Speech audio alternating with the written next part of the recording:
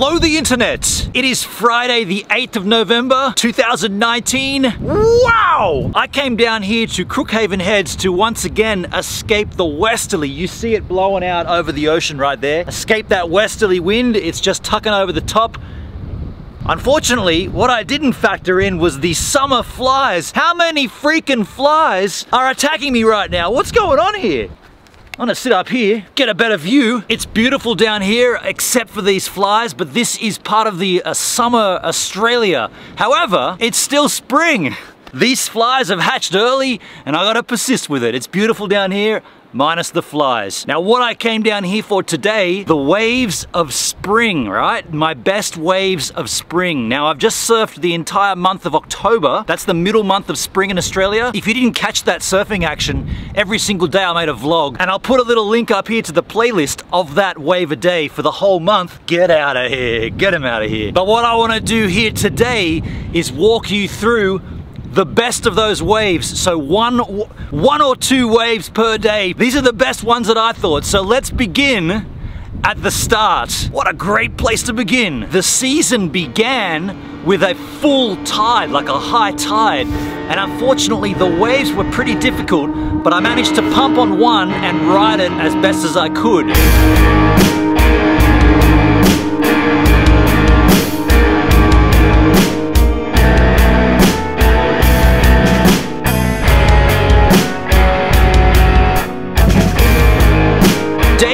Presented the same conditions as day one, or very similar conditions, but me, I cooked it and, and ate a fly. I cooked it and fell off potentially the best wave I would have otherwise got. These flies, right?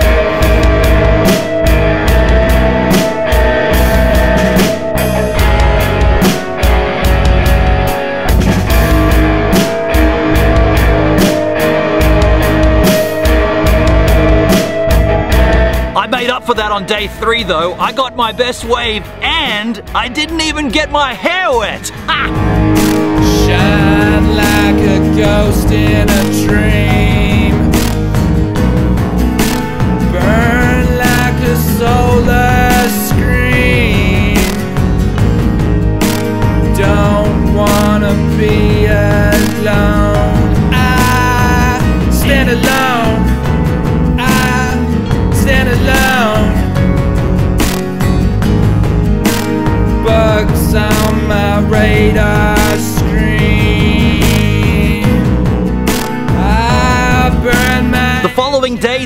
dropped. Uh, not so great, but I managed to get a little bit of a floater going here. That didn't last long though. The swell got larger the next day, and I managed to kook this wave. I didn't quite get under the face of it, but it was a nice wave.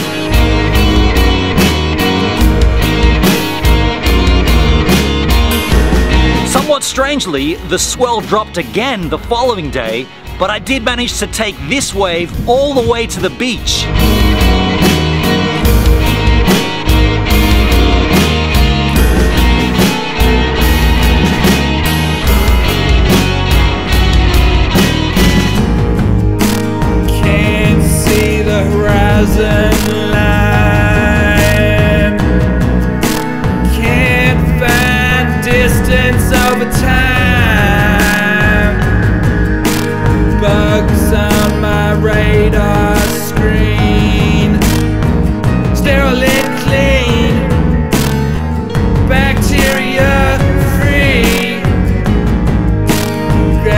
Day seven rolled around and this was my first chance to really work the left. My left does need work.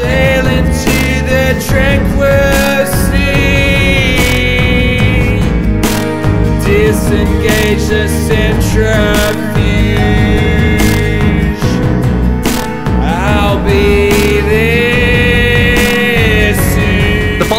The swell got large again, but unfortunately, I didn't really use an angel on my takeoff. I need to, I go straight down sometimes. I need to really hammer it off to the side. I gotta think about that.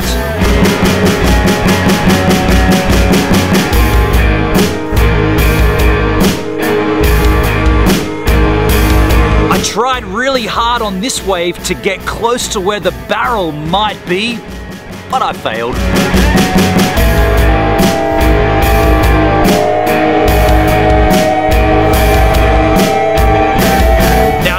10. Wow, day 10 will go down in my history books as the largest swell I've ever been out in. I duck dived under three waves that were easily the biggest mamas I've ever encountered. I also took a wipeout and donged my arm up pretty bad.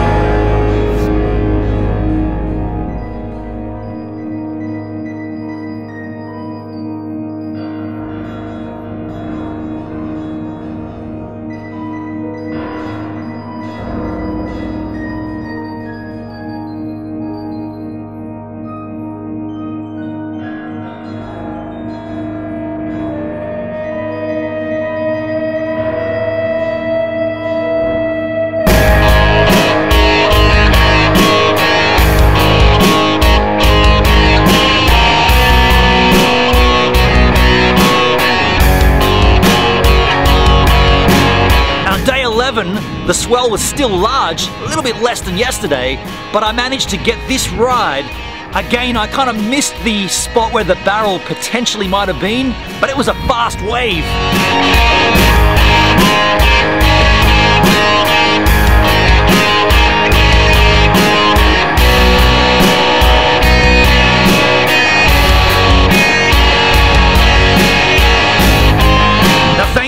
On day 12, the swell got a bit cleaner, stayed kind of large, but got a bit cleaner. I tried to stay on the top of this left, but I failed.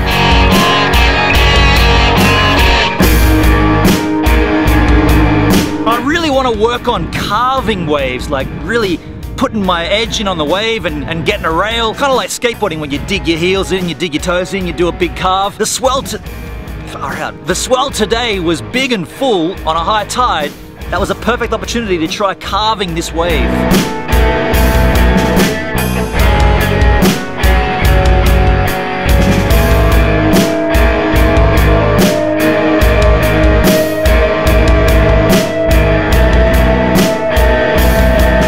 And day 14 just proved to me that I need a lot of help on my lefts. My lefts suck, a lot of help. May maybe I need a bigger wave as well. That could be the thing, a larger wave, more power.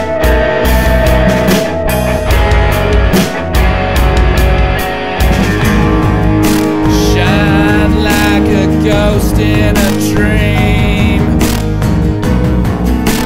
Burn like a solar. I've also got to get more snappy with my turns. I've got to do them faster and snappy. This was a good try though. Alone, I stand alone.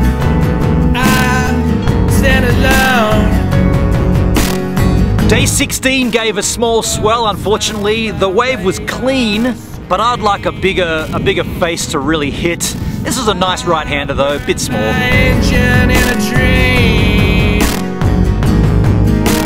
Standing on the end of the world I'm falling from the edge Well, if day 16 was small, day 17 was even smaller. Kind of sucked, there was no waves. I took a shore break just to get my wave a day and I landed right on the sand. It was pretty lousy.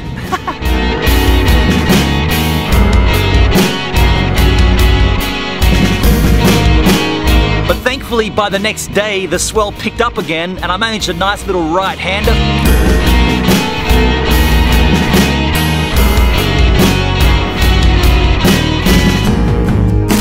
Can't see the horizon line. I feel like right here on this wave on day 19, I feel like I really worked the wave as best as I could. I trimmed it up and down. I managed to keep speed.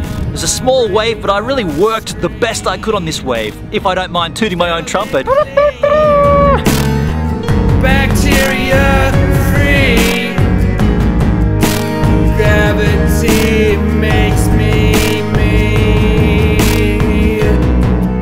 Sail into the tranquil I know, I've got to stay high on the wave to generate speed, but unfortunately on this wave, I stayed so high, I rolled over the back of it.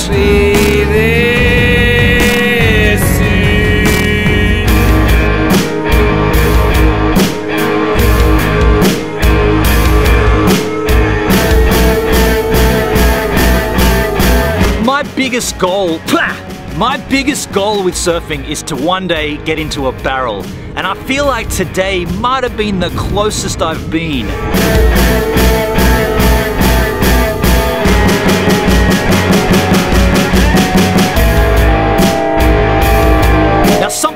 People have been telling me is at the end of my waves, instead of just falling off into the whitewater, I should try to finish the wave. So on day 22, I practiced cutting out of waves at the end of the ride instead of just falling down.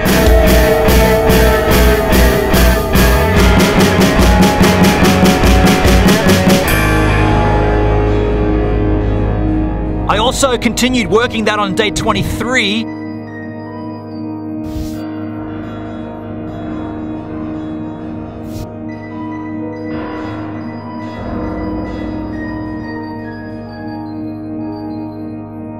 On day 24, the swell picked up again, and I took a pretty nasty wipeout up front, but then I managed to get a good wave, so it was all worth it.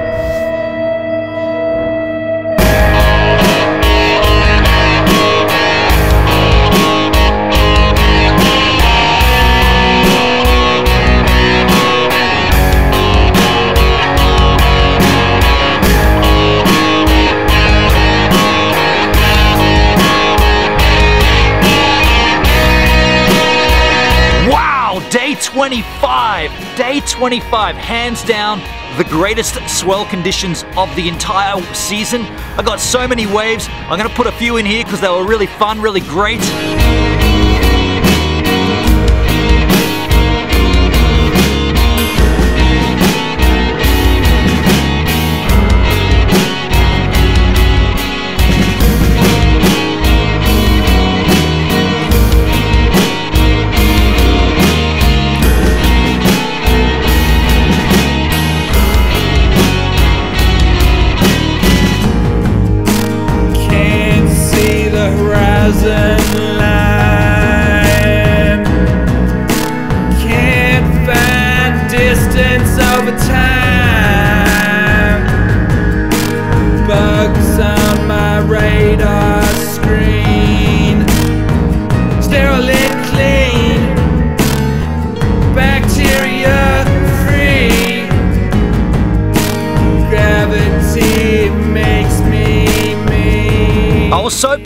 From day 25 that on day 26 I came back to the exact same break, same sandbar. Conditions were not the same though, and it kind of sucked.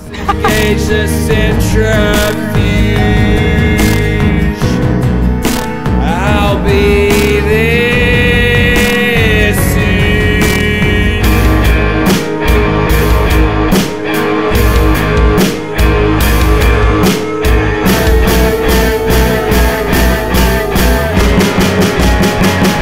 day 27, I went back to practicing those carves I was mentioning, and I think I did sort, sort of decent here.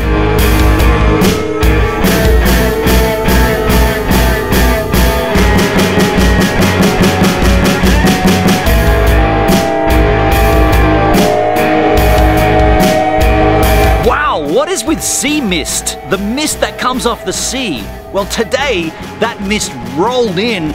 It was a strange conditions, but I really managed to work the left.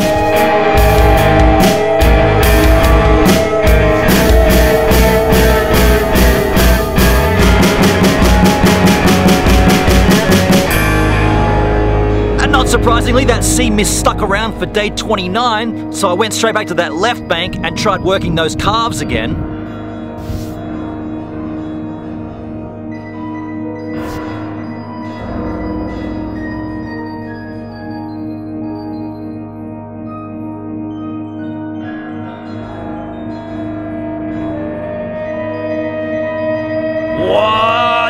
Day 30. A north northeasterly, the worst wind here in Culburra Beach comes in directly off there and blows right over the land, makes everything flat and sucky, and it was terrible out there. Potentially the worst day of a wave a day spring edition, and this is the best I could get.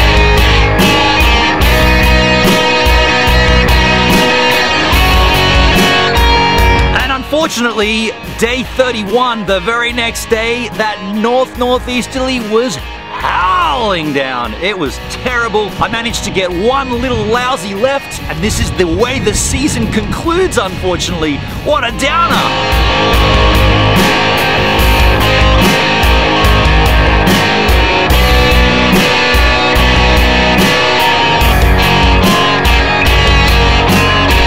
There you go, that is my Wave a Day Spring Edition 2019. I want to do a little pause here and say another thank you to my sponsors, Global Surf Industries for surfboards, Arzen Wetsuits for wetsuits, and Bell Surf Wax for wax. In the description right here, you can see these products. If you want to pick up your own 7S Superfish version 4, linky poo in the description. If you want to pick up your own Arzen wetsuit, 5% off with a linky poo in the description. If you want to pick up your own Bell Surf Wax, linky poo in the description. By the way, I mentioned that north-northeasterly billowing straight in. You can see, look at this angel of where we're looking here. All the way down to Culburra Beach here, pretty much in that sort of middle section of the sand is kind of where, where my break is. When the northeasterly blows, it obviously comes straight in off here and just blows all the way down straight onto the beach right there. That's why the north northeasterly is the worst wind. Now today it's a westerly, so it's kind of blowing.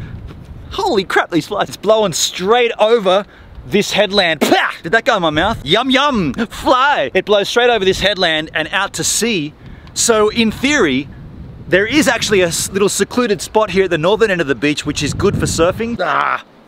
And speaking of flies, I've just found why there are so many flies here. A massive dead skippy, a kangaroo, right here, decaying, rotting, smelling, flies attracting. Let's go and have a look at it right now. Oh, that's, um, we're out of time!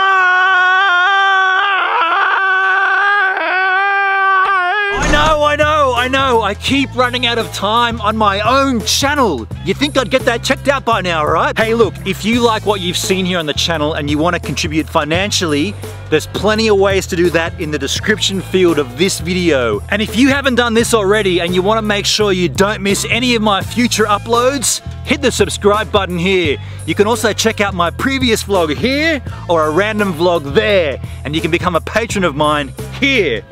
What's that? No, no, no, I'm busy with my end slate. I'm busy with my end slate. I'll be with you in a few seconds. A few more seconds. A few more seconds is all I require. All right, I'm coming now.